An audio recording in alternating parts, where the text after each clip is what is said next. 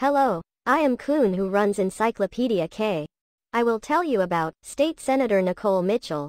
Nicole Mitchell is a state senator representing District 47 in Minnesota. She is a Democrat and has been serving in the Senate since January 3, 2023. Mitchell is known for her diverse background, having been a mom, foster parent, advocate, lawyer, and military meteorologist before entering politics.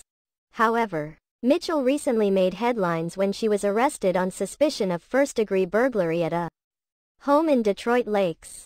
The incident followed a family rift that occurred after the death of her father.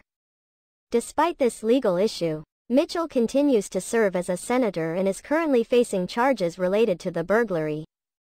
Prior to her political career, Mitchell worked as a meteorologist for the U.S. military, KSTP-TV, and Minnesota Public Radio. Minnesota State Senator Nicole Mitchell has been charged with first-degree burglary after allegedly breaking into her stepmother's home to steal her father's ashes. Mitchell represents District 47 in the Minnesota Senate and has been a candidate for the Senate in the past. She has an office located at the Minnesota Senate Building in St. Paul. Mitchell has been actively involved in the community supporting fundraising efforts for families in need and discussing various projects with local city councils.